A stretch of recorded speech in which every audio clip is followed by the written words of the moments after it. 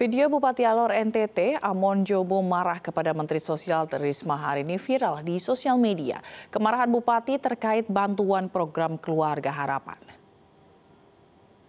Begitu, dia tidak tahu proses bantuan pola penanganan ya atau teknis penanganan bantuan ini sampai di bawah. Mulutnya lebih cepat dari pikiran. Pejabat apa model begitu? Menteri model apa itu menteri model begitu?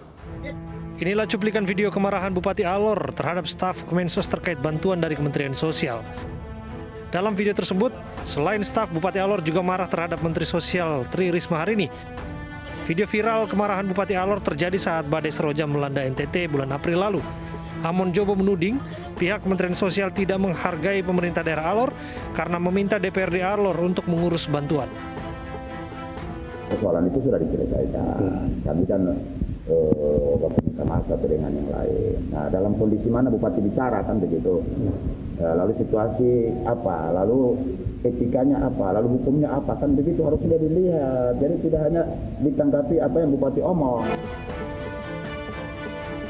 Sementara itu, Menteri Sosial Tri Risma hari ini menjelaskan bantuan yang diurus oleh DPRD Alor saat itu adalah bantuan bencana banjir bandang dan siklon tropis Roja di NTT tidak ada itu sekali lagi bukan PKH.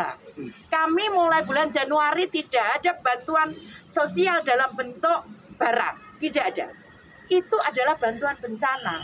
Ya, saya nanya adakah saya saya bisa hubungi di situ.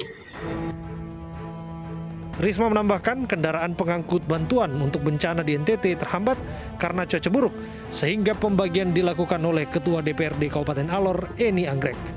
Tim Ainis melaporkan.